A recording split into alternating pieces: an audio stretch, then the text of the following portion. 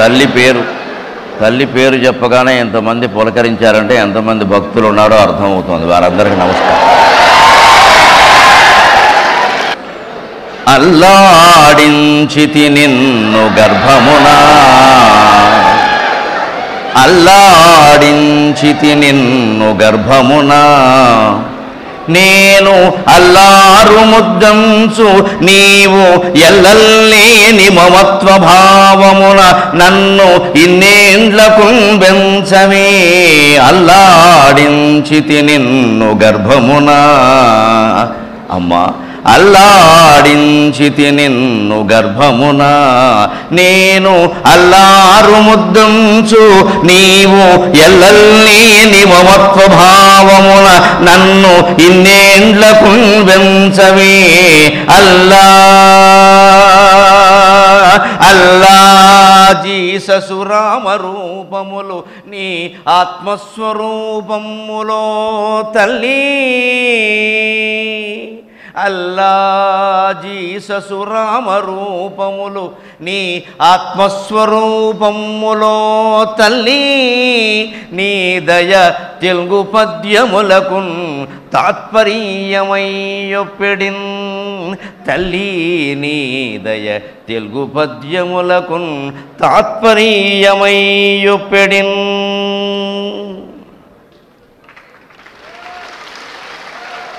గీతం విశ్వవిద్యాలయం అంటే గీతం విశ్వవిద్యాలయం అంటే నాకు వ్యవస్థాపకులైన నాకు సన్నిహిత మిత్రుడు పూజ్యులు ఎంవివిఎస్ మూర్తి గారు గుర్తొస్తారు.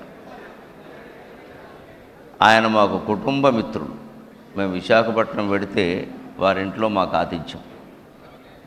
విశాఖపట్నం ప్రాంతాల్లో ఎక్కడ నా సభ జరిగినా ఆయన రాజకీయాల్లో ఉన్నా విద్యారంగంలో ఉన్నా ఎంత ఖాళీ లేకుండా ఉన్న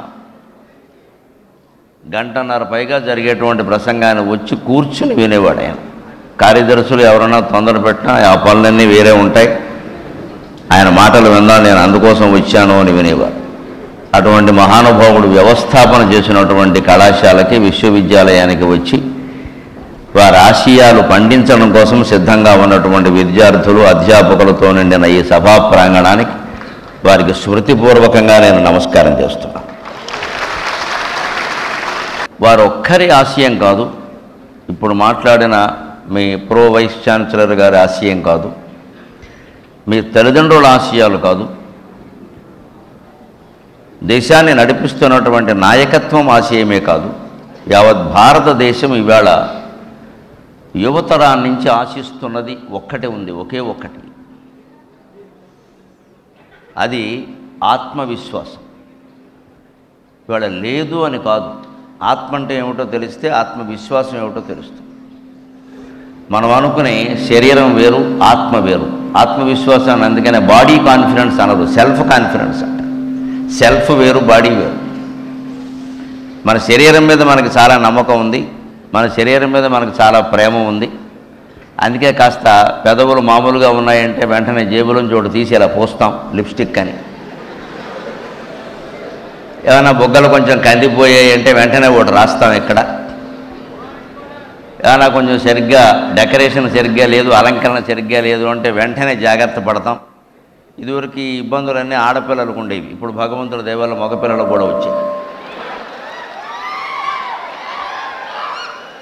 కొన్ని రంగాల్లో మగపిల్లలతో కొన్ని రంగాల్లో మగపిల్లలతో ఆడపిల్లలు పోటీ పడితే ఇంకొన్ని రంగాల్లో ఆడపిల్లలతో మగపిల్లలు పోటీ పడుతున్నారు. ఇదివరకు చెవిదుద్దులు ఆడవాళ్ళే పెట్టుకునేవారు ఇప్పుడు మగవాళ్ళు పెట్టుకుంటున్నారు. అది కూడా ఒకవైపే పెడుతున్నారు. ఎంత ఆశ్చర్యం రెండో వైపు పెట్టరు మళ్ళీ. అదో నమ్మకం అదో ఫ్యాషన్. రకరకాలుగా మారుతున్నాయి కదా. ఇదంతా ఆత్మవిశ్వాసం అనుకుంటాం మనం. చాలామంది అంటూ ఉంటారు అందం ఉంటే ఆత్మవిశ్వాసం పెరుగుతుంది.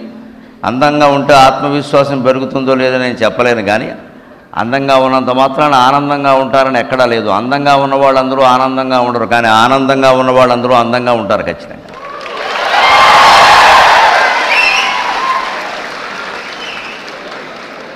అందమే అందమే ఆనందం ఆనందమే జీవితం అకరందం అని మా చిన్నతనంలో ఓ పాట వినేవాళ్ళం. అందమే ఆనందం అంటే అప్పట్లో మాకు బాగానే ఉండేది.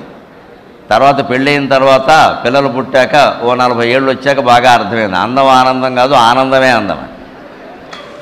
మనం ఆనందంగా ఉంటేనే అందంగా ఉంటాం. లోపల మనస్సు ఆనందంగా ఉన్నప్పుడు చూడండి మీరు బాగా తయారయ్యారా లేదా అందంగా అలంకరించుకున్నారా లేదా అనేదాన్ని మీరు పట్టించుకోరు ఎదుటి వాళ్ళు పట్టించుకోరు.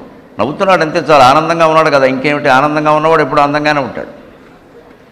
కానీ భౌతికమైన శారీరక అందానికే కనుక మనం ప్రాధాన్యం ఇస్తే లోపల మానసిక ఆనందానికి ఆత్మానందానికి ప్రాధాన్యం ఇవ్వకపోతే ఆత్మవిశ్వాసం లేనట్టే లెక్క.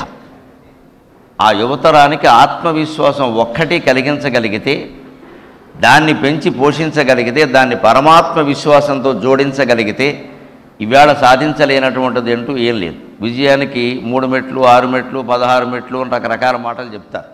అన్ని మెట్లు ఉండవు అంత శ్రమపడి ఎక్కక్కల్లా విజయానికి మెట్లు అంటే తిరుపతి మెట్లు అనవరం మెట్లు కాదు. విజయానికి ఎప్పుడు రెండే మెట్లు ఉంటాయి. ఒకటి ఆత్మవిశ్వాసం రెండు పరమాత్మ విశ్వాసం. ఇంకా అంతకుమించి మెట్లే ఉండవు. మన మీద మనకు నమ్మకం ఉండాలి. మన పుట్టించిన భగవంతుడి మీద నమ్మకం ఉండాలి. ఈ రెండు ఉంటే ఏ రకమైన విజయాన్ని అయినా సాధించవచ్చు అందుకే నేను ఆ దేవుడు ఈ దేవుడు అనే భేదం లేకుండా అల్లా జీసస్ రామరూపములు అన్నీ నీ ఆత్మస్వరూపములో తల్లి అన్నాను.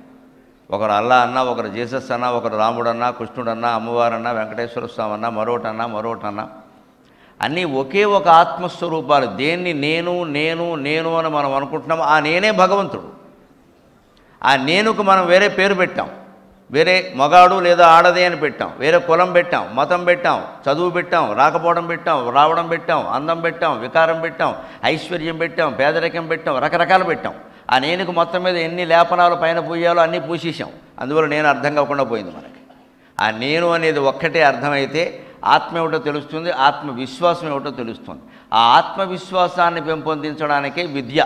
అందుకే విద్య యొక్క నిర్వచనాన్ని మన సంప్రదాయంలో చాలా గొప్పగా చెబుతారు. ఈవేళ ఇది అందడం లేదు విద్యార్థులు చాలామంది. విద్య దదాతి వినయం వినయాద్యాతి పాత్రతాం పాత్రత్వాత్ ధనమాప్నోతి ధనాద్ధర్మక తతసుఖం ప్రతి వాళ్ళు ఆనందంగా ఉండాలి అంటే మీ జీవితం అంతా మీరు ఆనందంగా ఉండాలి అంటే దీని అర్థం తెలుసుకోవాలి. విద్య ఏమిస్తుంది విద్య ఏమిస్తుంది అంటే ఇవాళ ఎవరిని అడిగినా సరే విద్య చదువుకుంటే మంచి ఉద్యోగం వస్తుందండి. అంతే అంతవరకు చెప్తారు. ఉద్యోగం కోసం చదవాలా? ఉద్యోగం కోసం చదవక్కర్లా. చదివి కూడా ఉద్యోగాలు చేయని వాళ్ళు చాలామంది ఉన్నారు. చదువుకున్న ఉద్యోగాలు రాని వాళ్ళు వాళ్ళకంటే ఎక్కువ ఉన్నారు విద్య విద్య ఉద్యోగం కోసం అనే నిర్వచనం పూర్తిగా తప్పు. అసలు ఆ మాట మాట్లాడటమే తప్పు. విద్య ఉద్యోగం కోసం కాదు విద్య జ్ఞానం కోసం. విద్యా దదాతి వినయం అన్నారు. వినయం అంటే అర్థం ఏంటి? మామూలుగా మనం ఇవాళ వినయం అంటే చేతులు కట్టుకుని నిలబడడం ఎవరైనా పెద్దవాడు వస్తే లేచి నిలబడడం నమస్కారం చేయడం అది మంచిదే అది ఉండాల్సిందే. దాంట్లో ఇబ్బంది ఏమీ లేదు. అది అవసరమైన విషయం కానీ అది కాదు వినయం అంటే ఇంగ్లీష్లో ఉండే మోడెస్టీ అనే మాట వినయం అనే దానికి అనువాదంగా సరిపోదు. చాలా వరకు ఇంగ్లీష్ పదాలు సంస్కృతానికి సరిపోవు. ఆ భాష వేరు ఈ భాష వేరు. ఇంగ్లీషు భౌతిక భాష సంస్కృతం పూర్తిగా దేవ భాష దేవతల భాష అది. దైవత్వం అర్థం కావాలంటే సంస్కృతం నేర్చుకోవాలి. అందుకని ఆ దాని అర్థం వేరు. వినయం అంటే అర్థం విశేషణ నయం. నీ జీవితాన్ని నువ్వు నడిపించుకునే విధానమే వినయం. నువ్వు ఇంజనీరింగ్ పూర్తయింది అంటే డిగ్రీ పూర్తయింది అంటే బీ ఫార్మసీ పూర్తయింది అంటే ఎంబీఏ ఎంటెక్ ఏది వి- కనీసం డిగ్రీ స్థాయి విద్య పూర్తయింది అంటే మన జీవితంలో మనం ఓడిపోవడానికి వీల్లేదు. ఎట్టి పరిస్థితుల్లో ఒక్కలాగే స్థిరంగా ధైర్యంగా మేరు పర్వతంలా నిలబడాలి. అటువంటి విద్య నీకు మేము అందించగలిగితే మేము విద్య చెప్పినట్టు లెక్క నువ్వు చదువుకున్నట్టు లెక్క. అదే ఆత్మవిశ్వాసం. ఇవాళ అటువంటి విద్య అందుతోందా? తెల్లారు లేస్తే జిల్లా అనుబంధం చూడాలంటే భయం అవుతుంది మీకు పత్రికలు చూసే అవకాశం ఉండదు కాబట్టి మీరు అదృష్టవంతులు. మాకు అది తప్ప వేరే పని ఏం లేదు పొద్దున్న. అందుకని పైగా జిల్లా అనుబంధాలు చూస్తే బీటెక్ విద్యార్థి దూకి ఆత్మహత్య అంతే. అంతంత పెద్ద భవనాలు ఎందుకంటే దూకడానికి. ఐఐటి విద్యార్థి దూకి ఆత్మహత్య. వాడు దూకకుండానే ఆత్మహత్య. లోపలే వీడు దూకాలి. వాడు దూకకాల లోపల కనిపెట్టాడు. సీలింగ్ ఫ్యాన్ ఒకటి ఉందిగా. సీలింగ్ ఫ్యానాయ విద్మకే చున్నీ కంఠాయ ధీమకి అని సీలింగ్ ఫ్యాన్ వేలాడుతోంది. ఈ చున్నీ తీస్తాడు పైన వేస్తాడు. అయిపోయింది. శ్రీమద్ రమారమణ గోవిందో హరి. కానీ నేను ఎప్పుడో రెండు వేల ఆరు ప్రాంతాల్లో ప్రవచనాలు మొదలుపెట్టి అవధానాలు అంతకుముందే మొదలుపెట్టి తర్వాత టీవీలో ప్రవచనాలు మొదలుపెట్టినప్పుడు టీవీలోకి ఏదో కండువా ఉంటే బాగుంటుంది కండువా ఉంటే బాగుంటుంది అని కెమెరా వాళ్ళు అంటూ ఉంటే ఓ కండువా తీసి వేసుకోగానే ఆవేళ వేసింది మూడు రంగులున్న కండువా. అందుకని నా తల్లి వెంటనే అంది బాగుందిరా నీ మెడలో కండువా జాతీయ పతాకంలో ఉందిరా అంది. నాకు ఇప్పుడు నా కర్తవ్యం ఏమిటో అర్థమైంది. నా కర్తవ్యం ఏమిటో అర్థమైంది. ఈ జాతిని ఉత్తేజపరచడం కోసం నేను ఈ కండువా వేసుకున్నాను కానీ ఏదో సన్మానాలు అందుకుని సొంతంగా బాగుపడడం కోసం కాదు. ఆ జాతి ఉత్తేజపరచడం కోసమే విద్యార్థుల సమావేశాలు అనగానే నాకు ఎన్ని పనులున్నా మానుకుని నేను వస్తాను. నా ఉద్దేశం ఏది? నా లక్ష్యం ఏది? లేకపోతే నిజంగానే ఇందాక వారు చెప్పినట్టుగా వారు అడగగానే నేను అన్నాను ఏమంటే రెండు మూడు నెలల ముందు చెప్పాలి కదండి నాకు ఇప్పటివరకు టైం టేబుల్ జూన్ వరకు ఎక్కడ ఖాళీ లేవు. నేను అనుకున్న కార్యక్రమాలన్నీ అయిపోయినాయి. నెలకు పది రోజులు టీవీ షూటింగుల్లో పోతాయి. ఇక మహా అయితే పది రోజులు. మిగిలిన పది రోజులైనా ఇంట్లో ఉండాలిగా లేదా అన్నం పెట్టరుగా? ఇవే ఇవే ఇవాళంటే మీరు పెడతారు రోజు ఎవరు పెడతారు? అందుకని ఇంట్లో ఉండాలి కదా. అందుకని సంసారం కూడా ఆనందంగా ఉండాలి కదా హాయిగా ఉండాలి కదా. అంటే ఉండాలి కదా కొంత. అస్తమాను ప్రోగ్రాం ప్రోగ్రాంను బయటికి వెళ్ళిపోతే ఇవాళ ఎవరు పెట్టలేదే ఇక్కడికి వచ్చారంట. అందుకని అది కూడా కొంత సమయం ఉండాలిగా ఆనందం ఉండాలి కదా. అందుకని నేను అన్నప్పటికీ ఇలాగ ఇంతమంది విద్యార్థులు ఉంటారండి. మాది విశ్వవిద్యాలయం అంటే మూర్తి గారి మీద అభిమానం ఒకటి విద్యార్థుల సమావేశం అనేది ఒకటి ఇక్కడికి నన్ను రప్పించింది. ముఖ్యంగా మనం నేర్చుకోవలసింది విద్యా దదాతి వినయం అన్నారు. ఇవాళ విద్యార్థులందరూ ఆలోచించండి మీరు మొదటి సంవత్సరం పూర్తయ్యే దశలో ఉన్నారు. ఇంకా రెండు మూడు నాలుగు అన్నీ చదువుతారు ఎంటెక్ చదువుతారు ఏదో ఉద్యోగం చేస్తారు ఎక్కడో స్థిరపడతారు పెద్ద విషయం కాదు. జీవితంలో ఏ దశలో ఉన్నా మనం ఆనందంగా ఉండగలమా? అది వినయం అంటే మన జీవితాన్ని మనం నడుపుకునే విధానం తెలియాలి. కాస్త చలేసినా భరించాలి. కొంచెం వేడి ఎక్కువైనా భరించాలి. కాస్త చలిగాలి వచ్చినా భరించాలి. వేడిగాలి వచ్చినా భరించాలి. ఒక్కబోసినా భరించాలి. అది జీవితాన్ని నడుపుకునే విధానము అంటే. ఓసారి అవసరమైతే నేల మీద పడుకోగలగాలి. అవసరం అవకాశం వస్తే పరుపెక్కి శుభ్రంగా గురు కొట్టేస్తాం. అది వేరే విషయం అది. అవకాశం లేదు. రైల్వే స్టేషన్లో నేల మీద పడుకోవాలి. పడుకోవాలంతే. ఇవాళ ఎలా ఉంది ఏమిటి అనుకోకూడదు. అది జీవితం అంటే. ఏ స్థితిలో ఉన్నా సరే ఆనందంగా ఉండగలగడమే జీవితం తప్ప నేను ఇలా ఉండాలి? అలా ఉండాలి. నేను ఇది సాధిస్తా. I want to become this I want to become that అనడం కుదరదు అక్కడ. ఈ దిస్సు దట్టు ఏమిటో తెలియాలి అక్కడ. నేను అదవుతా ఇదవుతా ఏమీ అవ్వకుండా ఉండలేవా? తినగా? ఏదో ఒకటి అవ్వాలి ఏమిటి? అదవ్వడం ఇది అవ్వడం సమస్య కాదు. ఏదవని ఏది కాకపోయినా మనం మనలా ఉండగలమా లేదా? అది అది నిజమైనటువంటి విద్య నేర్పగలగాలి మరి అంటే మన జీవితాన్ని మనం నడుపుకోవాలి. ఏదో వృత్తి స్వీకరిస్తాం. పెద్ద సమస్య కాదు అక్కడ. ఏదో విద్య నేర్చుకుంటాం. ఏదో అలా బతికేస్తాం. దాని గురించి కాదు. రెండు వేలు నాలుగు వేలు నోట్లోకి వెళ్ళడం రెండు ముద్దలు తినడం పెద్ద సమస్య ఏం కాదు ఇది. అది కాదు కావలసింది. జీవితంలో ఏ కష్టం వచ్చినా ఎదుర్కోగలిగే ధైర్యం మనకి విద్య అందిస్తోందా? అది విద్యా దదాతి వినయం అంటే వినయాద్యాతి పాత్రతాం నీ జీవితాలను నువ్వు నడుపుకోగలిగితే అప్పుడు నీకు పాత్రత. పాత్ర అంటే ఏదో పాత్ర కాదు. అన్నం గిన్నె కాదు. పాత్రత అంటే యోగ్యత. ఎలిజిబిలిటీ అంటారు దాన్ని ఇంగ్లీషులో. ఎలిజిబిలిటీ. నీకు ఆ జీవితాన్ని నడుపుకోగలిగిన తెలివితేటలు నీ విద్య ద్వారా బీటెక్ నాలుగేళ్ళు చదవడం ద్వారా బీ ఫార్మసీ చదవడం ద్వారా నీకు అందితే అప్పుడు నీకు ఒక యోగ్యత వస్తుంది. దేనికి? లోకంలో బతకడానికి ఏదో పని చేసుకోవడానికి తగిన పాత్రత వస్తుంది. పాత్రత్వా ధనవాప్నోతి ఆ యోగ్యత రావడం వల్ల ధనం వస్తుంది. ఎందుకని అప్పుడు ఉద్యోగం చేసుకుంటాం వ్యవసాయం చేసుకుంటాం వ్యాపారం చేసుకుంటాం కులవృత్తి చేసుకుంటాం ఏదో ఒకటి చేసుకుంటాం. ఏదైనా అందంగా చేసుకుంటాం ఆనందంగా చేసుకుంటాం. అప్పుడు ఖచ్చితంగా డబ్బు సంపాదిస్తాం. కానీ మన సంస్కృతి ఏం చెబుతుందంటే ధనం వచ్చింది. ధనం వచ్చాక ఏం చేయాలి? డబ్బు ఎందుకండి? డబ్బు ఎందుకండి అని మన ఎవరిని అడిగితే ఏం చేయాలి? డబ్బు ఎందుకంటావేటి? సుఖపడ్డాలి కదా అంటాడు వెంటనే. డబ్బు ఎందుకంటే సుఖపడ్డానికి. ఇంకా డబ్బు ఎందుకంటే ఇంకా భోగాలు అనుభవించడానికి. ఇంకా డబ్బు ఎందుకంటే ఇంకా ఇంకా ఇంకా భోగాలు అనుభవించడానికి. కానీ మీరు గమనించండి బయట ప్రపంచంలో కోటీశ్వరులైన లేని వాళ్ళు ఎవరూ సుఖంగా లేరు. నిన్నటికి నిన్న ముఖేష్ అంబానీ సంపద కరోనా కారణంగా యాభై వేల కోట్లు ఆగి ఆరిపోయింది ఒక్క రోజులోనే. యాభై వేల కోట్లు. ఆయనకి బహుశా నిద్రపోటు ఉండదు. ఇంకా అదృష్టం ఆయుర్దాయం ఉండి బతికేళ్ళు లేకపోతే వెళ్ళిపోవలసిన మాటే.